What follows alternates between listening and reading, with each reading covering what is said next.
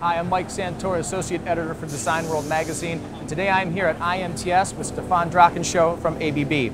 Stefan is going to tell us a little bit about their one-arm YuMi. Stefan, thank you for being with us. Hi Mike, thanks a lot.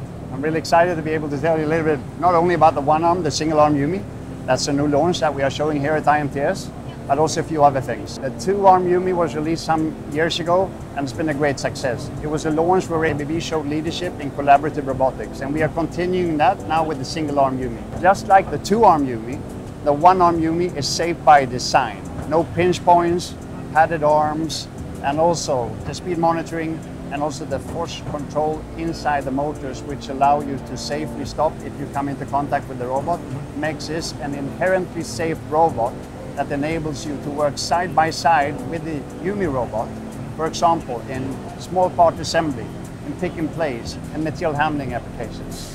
What's also very neat and nice about this one, just like the two-arm YuMi that was launched with a lead-through programming, this can be led through to make easier programming. So you lead it around by yourself and then record the different points that are needed in the program.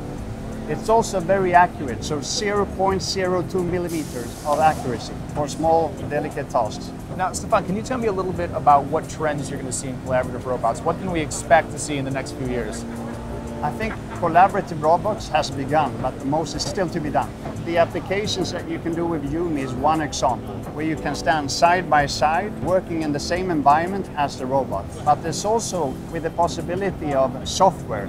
ABB has a software called SafeMove 2, which enables us also to work safely with larger robots, not side by side, but sporadic interactions to load, unload a part with the control of software that you program safety areas where the robot is allowed to be or not be when you are in close proximity of the robot. So the SafeMove 2 allows you to slow down the robot, stop the robot, and have a safe stand still and a safety monitoring of the position so that you can go in and then when you go out the robot restarts without you needing to reset. Also what's very interesting with this is that the small and lightweight robot, nine and a half kilos, mm. it can be ceiling mounted, wall mounted, and also table mounted. It enables you to put these robots into very confined spaces, existing spaces, without needing to really do any adjustments on what you have already today, enabling you to put robotics into the environment where you might need to put some robot automation. Okay. So that's the, the single arm YuMi. What else is ABB going to be featuring at IMTS this year? Well, what we are showing here, we call it the dawn of a new era in robotics.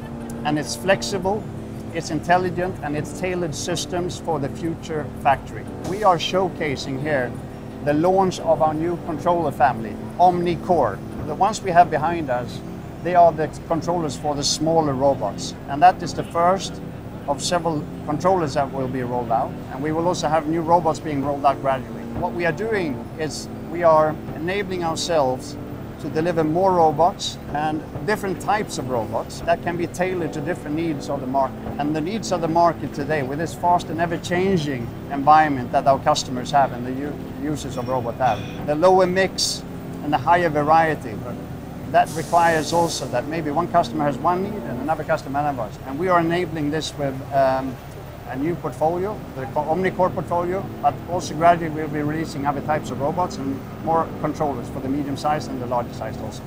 Okay, Stefan, can you tell us a little bit more about where people can find out about ABB online? Yeah, I'd be happy to. So on ABB.com, under robotics, you'll be able to find a lot about our launches, about our current portfolio. And our current portfolio is not only about robot products, it's about robot products and softwares.